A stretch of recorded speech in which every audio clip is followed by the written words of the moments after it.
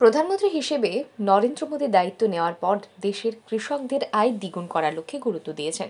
দেশের অর্থনৈতিক উন্নয়ন নির্ভর করে কৃষি ও কৃষি সংশ্লিষ্ট ক্ষেত্রের সার্বিক বিকাশের উপর। আমাদের দেশ কৃষি প্রধান দেশ, তাই দেশের প্রধানমন্ত্রী নরেন্দ্র মোদী কৃষির বিকাশ ও কৃষকের কল্যাণে সবচেয়ে বেশি গুরুত্ব দিয়েছেন।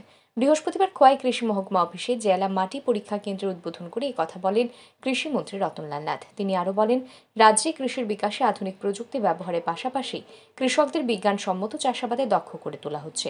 এই লক্ষ্যেই রাজ্যের বিভিন্ন ব্লক ও কৃষি মহকুমাগুলিতে মাটি পরীক্ষা কেন্দ্র চালু করা হচ্ছে।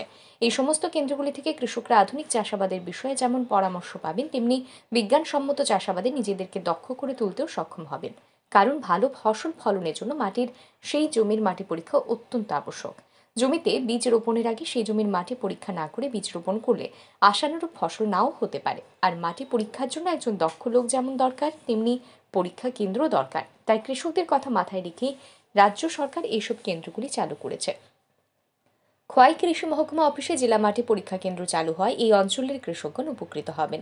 অনুষ্ঠানে কৃষিমন্ত্রী বলেন, কৃষকের কল্যাণ ও কৃষির বিকাশে কেন্দ্র ও রাজ্য সরকার বিভিন্ন প্রকল্প নিয়েছে। এই সমস্ত প্রকল্পের সুযোগ রাজ্যের সমস্ত কৃষকদের কাছে পৌঁছে দেওয়া হচ্ছে। এই যে আমরা বলি জিএসডিপি আমার রাজ্যের সম্পদ কীভাবে বাড়বে?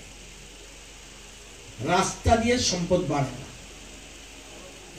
এগুলি করতে হবে, সরকারের দায়িত্ব করতে স্কুল, বিল্ডিং এগুলি সরকারের দায়িত্ব তিনটা সেক্টর মোস্ট ইম্পর্টেন্ট এক, কৃষি, দুই, শিল্প, তিন সার্ভিস সেক্টর হোটেল বিজনেস বিভিন্ন সার্ভিস এই তিনটে বলে টার্সারি সেক্টর তো আমাদের সরকার ত্রিপুরা এবং বিশেষ করে ভারতবর্ষ সবচেয়ে বেশি উন্নয়নের মূল যে জায়গাটা সেটা হলো কৃষি। কৃষি হলো উন্নতির মূল ভিত্তি, এটা বলতে পারে। শুধু উন্নয়নের মিল ভিত্তি বললে হবে না।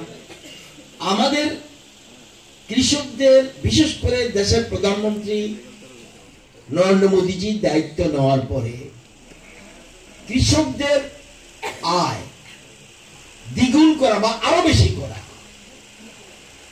এটার দিকে বিশেষ গুরুত্ব দেয়। আমরা অনেক টাকা দিতে পারি আপনাদেরকে যদি উৎপাদন না হয়, তাহলে যদি কৃষি উৎপাদন না হয়, প্রচুর টাকা আপনার থাকতে পারবে। আপনি টাকা তো আর চিবিয়ে খাবেন না। তাহলে টাকা থাকলেও আপনাকে অন্যের যোগান দিতে হবে বা অন্যান্য খাদ্যশস্যের যোগান দিতে হবে। এদিনে অনুষ্ঠানে এছাড়া উপস্থিত ছিলেন কৃষি অধিকর্তা শরদিন্দু দাস খোয়াই জেলা পরিষদের সভাধিপতি জয়দীপ দেববর্মা, জেলা পরিষদের সদস্য সুব্রত মজুমদার সহ অন্যান্যরা। Bureau report R E news.